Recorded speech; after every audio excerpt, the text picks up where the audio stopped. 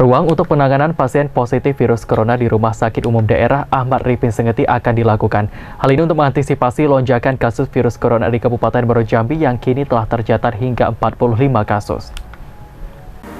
Ruang isolasi pasien terkonfirmasi positif virus corona di Rumah Sakit Umum Daerah Ahmad Ripin Sengeti hampir terisi penuh. Dengan angka 45 kasus terhitung hingga Selasa 29 September, 24 kasus di antaranya telah sembuh dan satu pasien meninggal dunia dengan status terkonfirmasi positif virus corona.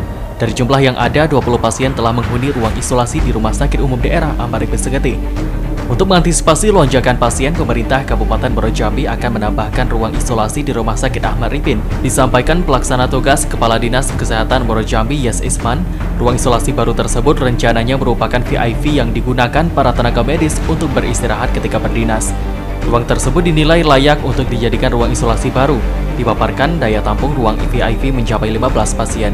Rujukan yang ditunjuk Rumah Sakit uh, Ahmad Ripin sekarang pasien berjumlah 20 orang e, sementara e, kapasitas tempat tidur masih tersisa lebih kurang 11 tersisa nah, e, kalau melihat dari apa kontak tracing kita swab hampir 60-70 sehingga kita mengantisipasi e, harus menambah ruang untuk rawat ininya jadi kami sudah bicarakan dengan Direktur Rumah Sakit Alipin, Dr. Ilham, uh, agar ruangan VIP itu yang semula ditunggu uh, oleh para medis yang dinas itu istirahat, itu mungkin akan kita kosongkan untuk kita tambah uh, ruangan uh, menjadi ruang isolasi.